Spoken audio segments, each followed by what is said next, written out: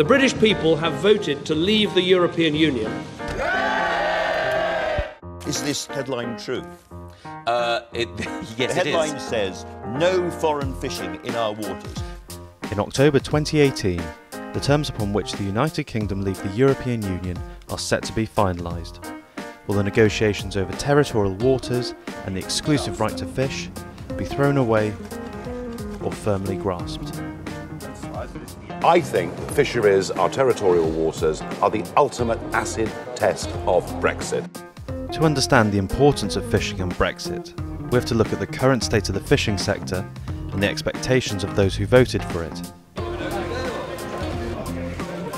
I've come to the northeast of England, where many coastal towns used to thrive, fishing in the North Sea and beyond. Grimsby, once the world's largest fishing port, 70% of its population voted for Brexit, in the belief that doing so would bring back the once vibrant fishing industry. I'm standing on what is known locally as the pontoon. This is the place where, in its heyday, 580 fishing vessels would land their catch, and this was once the Grimsby Fish Market. This is where millions and millions of fish were bought and sold every year, which was a source of income for thousands of people and local businesses. Behind me, you can see that the fishing vessels have been replaced by luxury yachts. The pontoon is now derelict and no longer in use. This is the Ross Tiger. It's one of the last of the 580 vessels that once fished out of Grimsby. No longer used for fishing, it's now the main attraction at the award-winning Grimsby Fishing Heritage Centre. Built in 1957 at a cost of £85,000, the equivalent to £6 million today, its crew lived in cramped and noisy conditions, working 18-hour days with very little sleep and risking their lives in often treacherous conditions. This job was considered to be the most dangerous in the United Kingdom. I met with Ron Telford. He used to be the third hand on this very ship, but is now a tour guide for the Heritage Centre, helping to keep alive the sense of what it was like to be a fisherman. Then you got 5B. Are there many fishermen around in Grimsby these days? Actively fishing? I would I would say there's about no more than 50. How many trawlers are there now in Grimsby? The, the, the, what I know of it, I know two Jubilee boats, but the, the re- I think, I'm about saying this because I haven't been on the dock. It's so depressing. Hmm. I asked Ron what he thought caused the decline and his feelings about it.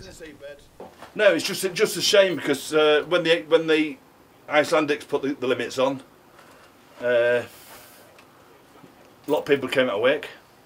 The Cod Wars were a series of territorial disputes between the UK and Iceland, which took place between 1958 and 1976. Following these wars, the UK's fishing waters were set to 200 miles by the United Nations under international law, not by the EU. Before the Cod Wars, fishing was a free-for-all, with UK fleets fishing around 4 miles off the coast of Iceland, catching as much cod and haddock as they could without any thought for depleting fish stocks. Brexit will not change the range of the UK's fishing waters, but it will stop other countries fishing in them. The Common Fisheries Policy will no longer be able to impose who can fish in our waters, and we will take back control.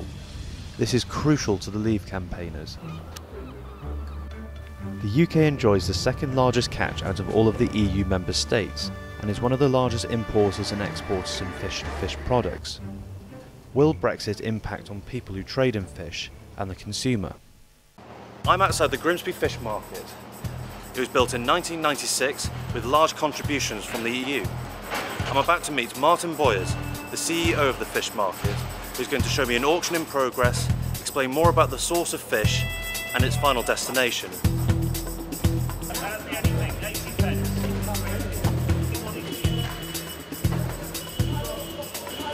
One of the interesting things about the UK consumption of fish is that most of what we import is what we eat, and most of what we catch is exported. But I think for trade, I mean, I'm not getting het up about it at all because fish, fish is not very high up the agenda. But the one thing about fish which is interesting, and Nigel Farage said this, that Theresa May will be judged on the success of Brexit through the fishing policy. It's a, it's a shame in a way that people have been misguided to think that by voting to leave, they're actually supporting the fishermen. It's great to support the fishermen, but that's not the way to do it. There's an opportunity for us to improve the fisheries, to increase the inshore fisheries, to start eating more fish that we catch ourselves. So there's opportunities in there. It's just what they're going to be. A lot of it will carry on the same. Plus, we're going to deal with uh, the Iceland and Norway are outside the EU but work to the regs, so we'll carry on with them. Plus, we'll be exporting to Spain and Italy, so we'll have to work to the regs to export to them. So I think a lot of where we are will just carry on. Whilst UK fishing may not immediately benefit from Brexit, the wholesale and consumer market is confident and optimistic. This positive outlook is shared by others. The word great in Great Grimsby certainly applies to the quality of fish and clientele of Alfred Enderby and Son.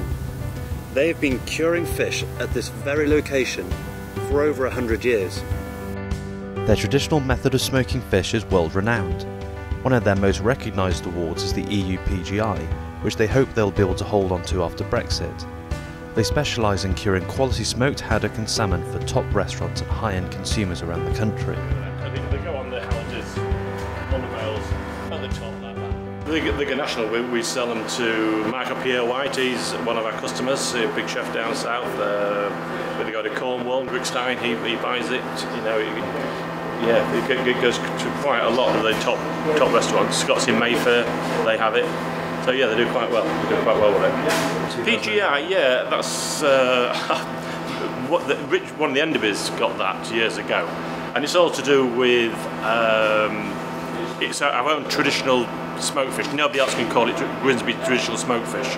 Uh, because it's got to be done. It's like Mowbray's pork pies and parmesan and things like that, champagne. Um, so yeah, that, that was quite useful to have that. What sort of impact do you think Brexit will have on your business, if any? Uh, I don't think you'll have any, to be fair. Um, as long as we can keep this PGI, well, that'll be great. And I think they're trying to get that, aren't they? They're trying to put something through so we can keep that. So that should be good. As Brexit doesn't really seem to be concerning businesses, I wanted to see whether consumers in nearby Cleethorpes thought leaving the EU might impact their fish and chips. I think it'll be the same. I mean, there's a lot of talk about Brexit, but they need us as much as we need them. People forget that. I don't think so. You don't think it might make it cheaper? Mm, depends on the type of fish, doesn't it? uh, yes, a little bit. Yeah, how do you think? I think the prices will go up again.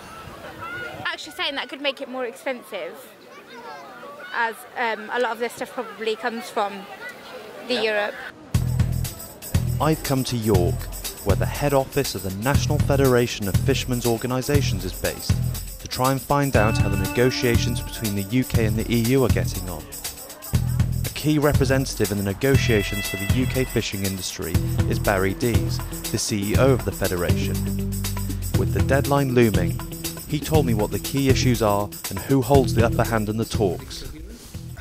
The EU uh, in the end game in the negotiations will say, well, the UK wants a free trade deal, we're prepared to give you a free trade deal, but the cost will be status quo on access and uh, quota shares. In other, in other words, no change. That's what they want. That's and that's the leverage that they have said that they will apply.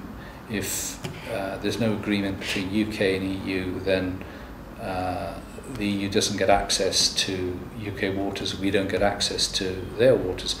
But the advantage really lies with the UK at that point because, because the stocks are largely in our waters. The idea of Brexit was that the UK will regain full control of its 200 mile zone and all of the fish in it. In theory at least, this could mean more fishing and more boats, and a return to the golden era. But there is a strong suspicion that the UK government will only simply trade away the right to fish in UK waters to ensure that other industries, like the financial services, have free access to Europe. If Nigel Farage is right, for the 70% in Grimsby who voted for Brexit, the end result will leave only an acid taste rather than an acid test.